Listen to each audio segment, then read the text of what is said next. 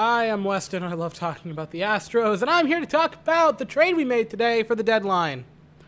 Because I decided I'd make a deadline video, but there really isn't anything to talk about. You already know about the Kendall Graveman trade. I talked about that the other day, along with the Yimi Garcia trade. The only thing left to do is talk about today's trade, which is uh, rather lackluster. Uh, Astros trade center fielder Myles Straw in exchange for Philip Maton of the Cleveland Indians, straight up to my knowledge. And this is just rough. There's no other way to put it. This is just rough. Uh, now, to Maton's credit, uh, his numbers are a little deceiving. Uh, a bit of a higher ERA, 4.57. He has a really good SIERA. He has a really good expected ERA, at least better than that. A incredible FIP of 3.13. So he's a better pitcher than it leads you to believe, right? ERA. A lot of people completely just want to throw out ERA as a statistic for relievers. I'm not in that camp, but I do think it is important to look at other numbers when, with relievers and also just game logs ultimately because that can tell you a lot as well. Because if a reliever has one bad game where they give up, say, four runs, that can completely destroy their ERA and not bring it back down for three or four weeks. Whereas if a starter does that, it might only be up for two games and then they can bring it back down, right? So he's not as bad as all that. He has some decent uh, baseball savant rankings. Uh, great whiff, great spin rate for both, for all of his pitches pretty much. Uh, subpar velocity. Uh, all of his pitches are the majority thrown below league average, but not a bad pitcher, right? It's not a bad pitcher to go acquire, right? That's that's not the part people are upset about. It's the Myles Straw part. You're trading a center fielder who was really starting to break out, who a lot of people were starting to take notice of, uh, who started to really be pretty darn good. Well over 400 OBP since June 1st, to my knowledge, I believe. And you trade him straight up for a middle of the pack reliever, a little bit, little bit above average, right? Now, granted, given how bad our bullpen has been, it's a great improvement. Uh, another positive you can take from it is he's under contract for a while. You get a few years of arbitration, so he's not going to be a full free agent for a couple more years. So that's a positive, right? That cool, great, right? Great for us. But Myles Straw is gone, and that sucks because this year he was elite defensively, starting to become elite on base guy. Now, the spin, if you can make one, is that Chas McCormick is technically, if you want to go by WRC plus and by OPS plus, a better hitter than Myles Straw. Granted, a lot of that heavily lifting is via the home run, but it's still a fact.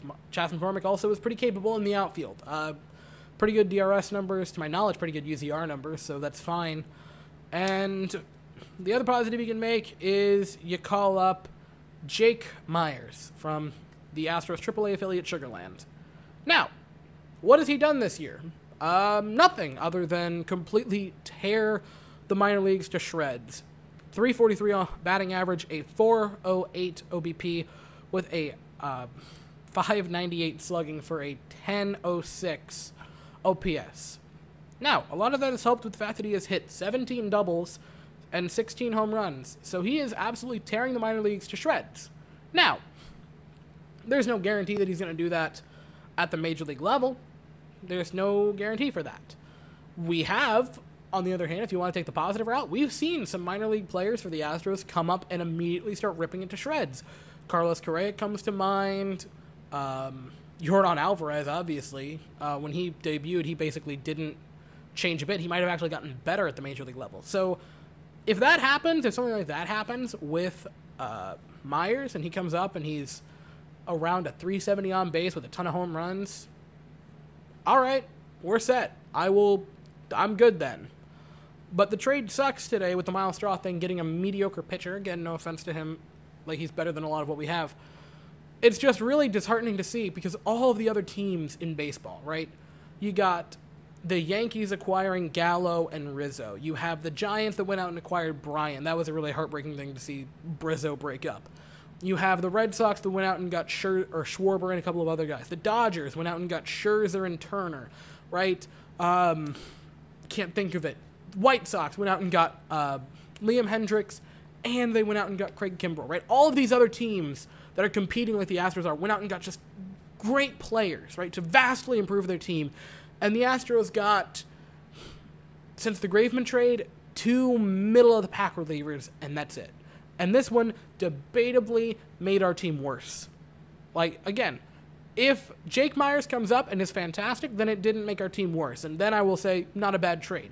But as of this moment in time, while we haven't seen him, made our team worse at this exact moment because we haven't seen him play at the major league level yet. And that is super disheartening.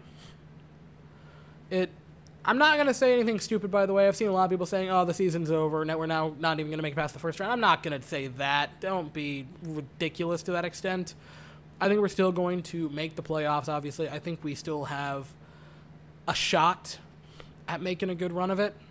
I'm not sure how our World Series chances do after this, but I don't think this just turns us into a bottom feeder among playoff teams. I still think we are solid overall, but this was a rough day trade wise for the Astros. So, that is all I have to say. I'll be back tonight late after the Giants game to talk about the recap and maybe discuss some debuts for the Astros, depending on uh, if Yimi Garcia, if uh, maybe Graveman play. That'd be neat to see those guys. I'll be here after that. So thank you all so very much for watching. I hope you all have an absolutely fantastic day, and as always, go Stros.